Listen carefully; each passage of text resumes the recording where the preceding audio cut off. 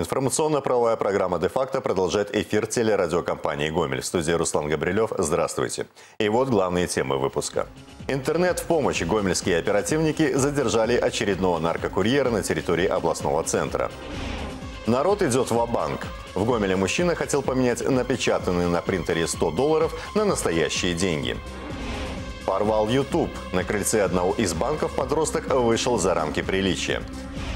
А также ответить все равно пришлось. В Гомеле раскрыто убийство 14-летней давности. Сотрудники управления по наркоконтролю пресекли деятельность концерна Калашникова, гомельского интернет-магазина по продаже психотропов и наркотических веществ. В поле зрения оперативников попал 22-летний житель областного центра, в машине которого было обнаружено порядка 40 доз особо опасного дурмана.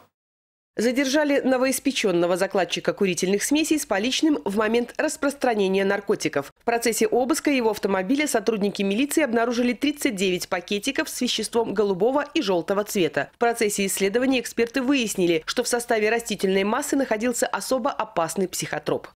Он непосредственно уже а, покупал, фасовал и уже непосредственно по тайникам, как являлся курьером, уже раскладывал для потенциальных потребителей, чтобы уже в дальнейшем а, потом они договаривались через соцсети, а, через мобильную связь уже непосредственно, где деньги оставят, а где товар.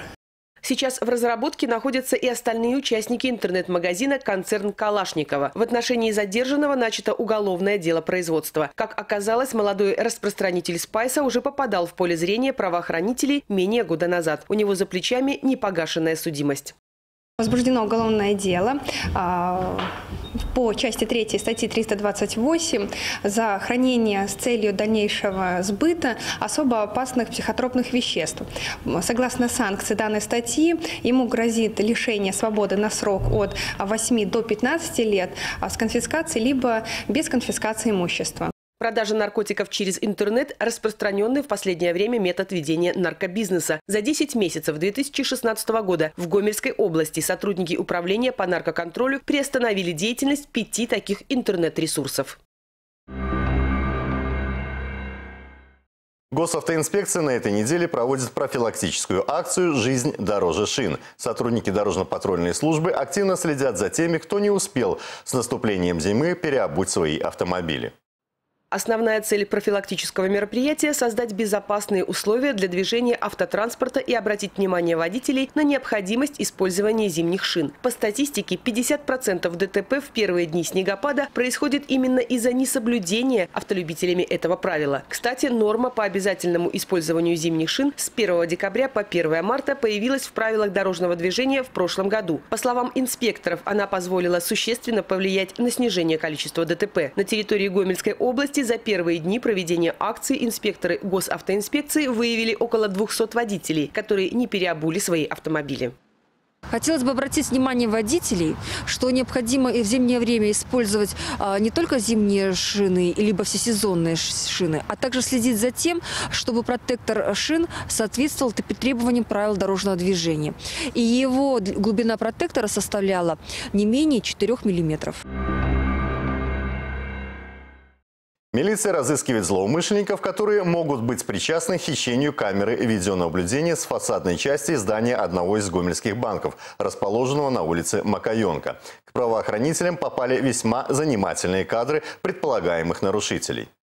На записи запечатлены подростки, у которых, по всей видимости, ночью на крыльце банка состоялась неформальная встреча. Ее повод доподлинно неизвестен. Можно лишь констатировать действия, которые совершали молодые люди. Один из них наматывал на руки боксерские бинты, другой переодевался, а третий, увидев камеру наружной фиксации, решил отличиться и продемонстрировал пятую точку. Сразу после этого поступка наиболее сообразительный участник группы забрался на перила банка и отвернул камеру наблюдения в сторону. А на утро прибор видеофиксации и вовсе был похищен. Милиции ничего не известно о деятельности этой компании ребят. Поиск очевидцев пока не принес результатов. Сотрудники УВД обращаются к гражданам, которым что-либо известно о э, лицах, которые изображены на видео, э, если известно их э, личности, обратиться в ближайшее ОВД, либо по телефону 102. Также с этой целью на сайте ОВД Гомельского исполкома размещено видео с изображением вышеуказанных э, парней с целью установления их личности. последнее время шутников милиция стала разыскивать чаще. Так, за попытку сбыть фальшивые 100 долларов в разработке правоохранителей находится мужчина, который в одном из обменников областного центра пытался толкнуть купюру из банка приколов.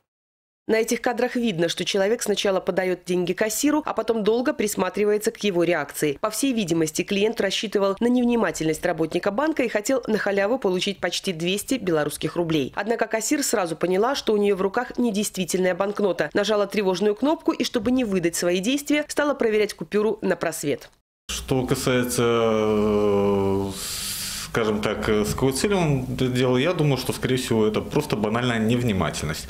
Так как, э, в принципе, э, граждане, которые меняют денежные средства, они не всегда обращают на те купюры, которые приносят в банк.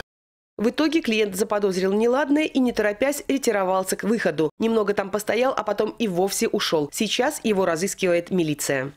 Проводится комплекс оперативно-розыскных и процессуальных мероприятий с целью установления э, личности данного мужчины и, соответственно, дачи правовой оценки его действиям так как э, за данные деяния, в принципе, предусмотрена, может быть предусмотрена ответственность как статьей 221 Уголовного кодекса Республики Беларусь, это подделка, хранение с целью сбыта, либо сбыт э, поддельных денег или ценных бумаг, или по статье 209 Уголовного кодекса Республики Беларусь мошенничество слову, примеров, когда кассиры из-за невнимательности выдавали клиентам суммы большие, чем требовал того курс обмена, немало. И не всегда милиция находила счастливых обладателей шальных денег. Так, в прошлом году в отделении одного из гомельских банков клиентки выдали по ошибке вместо одной тысячи долларов 10. Женщину так и не нашли, хотя ее лицо зафиксировали три камеры видеонаблюдения. По факту произошедшего было возбуждено уголовное дело. Кассир банка больше года возмещала ущерб. Сколько веревочки не виться, а конец всегда будет, гласит народная мудрость. Перед судом предстанет гомельчанин, который 14 лет назад участвовал в разбойном нападении на двух жителей Могилева, приехавших погасить в областной центр. Один из них тогда полгода пробыл в больнице, второй умер от многочисленных переломов и травм.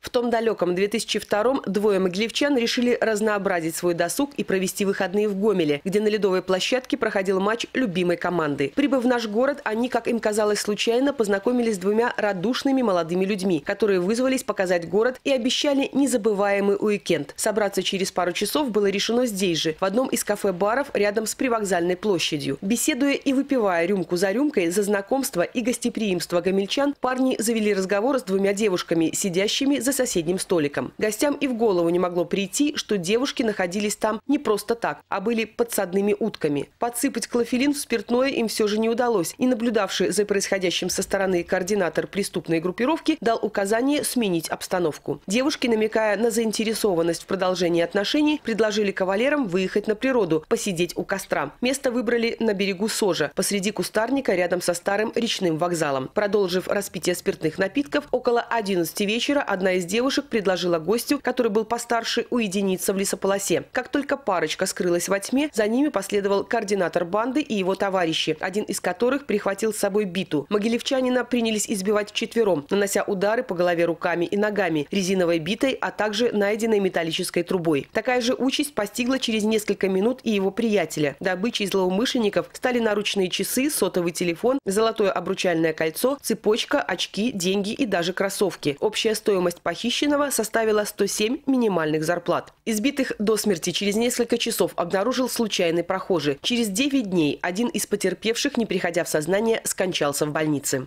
Причиной смерти 32-летнего мужчины явилась открытая черепно-мозговая травма в виде переломов костей свода и основания черепа. Данное повреждение несовместимое с жизнью. Второму 36-летнему мужчине также были нанесены множественные повреждения. У него была обнаружена э, черепно-мозговая травма в виде перелома свода черепа, однако ему посчастливилось выжить. Преступную группировку, промышлявшую кражами, грабежами и разбоями, разыскали по горячим следам. Пять ее участников тогда предстали перед судом. Обвиняемые получили длительные сроки наказания и по сей день находятся в местах лишения свободы. Девушки, не принимавшие непосредственного участия в убийстве, отбыли наказание в виде лишения свободы сроком 6 и 9 лет. Однако после освобождения вновь совершили уголовные преступления и сейчас также находятся в местах не столь отдаленных. Избежать наказания и уйти от ответственности перед законом регионам в то время удалось только одному, самому молодому, 18-летнему соучастнику преступления. Это и был тот парень, в руках которого находилась резиновая бита. Принцип неотвратимости наказания подтвердился на практике. Уже 33-летний гомельчанин в этом году был задержан, ему предъявлено обвинение в совершенном преступлении. Ныне обвиняемый по уголовному делу ранее проходил свидетелем по первоначальному уголовному делу, однако ни один из проходивших на тот момент преступников организованной группы не сдал его простым языком и не сообщил правоохранительным органам о том, что данный молодой человек участвовал в совершении преступления. Молодой человек находился все это время на территории Республики Беларусь, не скрывался, но, однако, справедливость все-таки восторжествовала, и его личность была установлена, и, соответственно, на сегодняшний день он направлен в суд.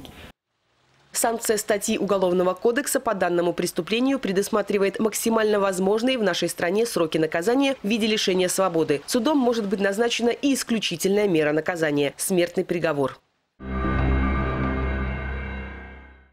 На этом все. Вы смотрели «Де-факто». В студии работал Руслан Габрилев. Берегите близких. До встречи.